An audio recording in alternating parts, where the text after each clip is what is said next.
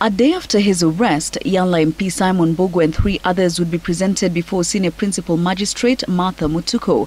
Mbugua, Benjamin Odhiambo, Elias Solo, and Otieno Ombok, Elias Jamal, pleading not guilty to robbery with violence.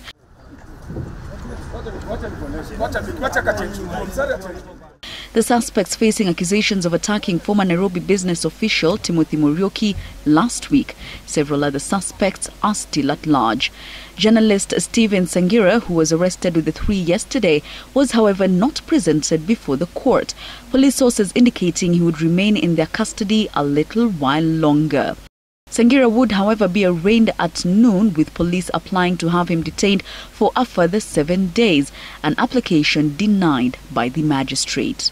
Francis Muita, an investigating officer, told the court that they required more time to carry out an identification parade, saying they believed Sangira was involved in a series of other offences committed within the city and an ongoing investigation over the attack and robbery of Muriuki at Boulevard last week.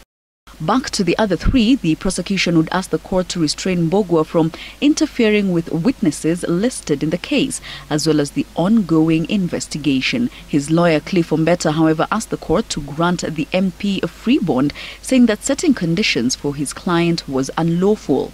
The three were released on a 200,000 shillings cash bill each and asked to deposit copies of their identity cards in court.